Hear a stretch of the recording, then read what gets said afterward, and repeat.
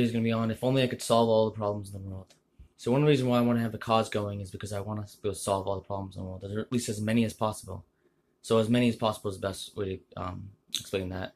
Not that I want to solve all the problems. I wish I could solve all the problems in the world, but I'm, I can't. Even God, um, who doesn't want anyone to suffer, doesn't want any problems, doesn't want anyone to have any pro- any um, go through any pain or struggles.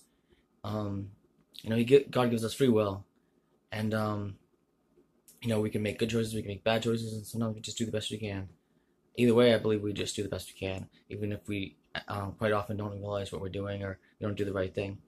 Um, so, like you know, life is not easy. Um, however, we just keep gotta not give up, gotta believe in ourselves, believe in others. Um, you know, I can wish I could solve all the problems I want, but you know what? Each thing we do can make a difference. Being kind to a person, forgiving a person, just um, being compassionate, um, not giving up, trying to do the right thing, um, being ourselves, whether you're good, bad, not um, mixture of both, which I believe everyone is a mixture of both. That you know what, that you uh, be yourself, and then and that importantly, whether you be yourself or not, you keep trying to do the right thing. You keep trying to be good, and I keep trying to be good, and I keep try. I hope everyone else keeps trying to be good, and that the best way to keep trying to solve all the problems is try to be the best, best um, the best, um, best. We try to do the best we can when it comes to how we are as a person.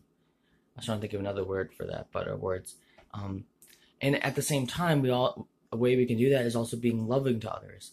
Um, different things we can do: holding the door, saying thank you, saying please, um, giving someone food, giving someone clothes, praying for someone. You know, the list goes on and on. Offering someone a place, where whether they have money or they don't. Um, being a friend to someone. Um, introducing yourself to someone.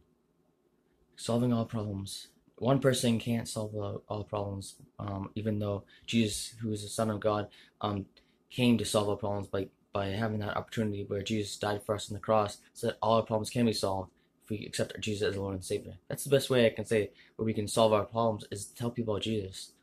At the same time, one person can make a difference. Many people can make a huge difference. So if you wanna if you wanna solve our problems, just keep trying to do the right thing. Keep trying to um, show love to others, show love to all life, show love to the world, show love unconditionally, um, like put love out there. Well, that will help all problems to be solved. Each individual can have a ripple effect we can and add up and add up. We can all solve all problems together. Sure, things will still happen. Sure, problems will still exist.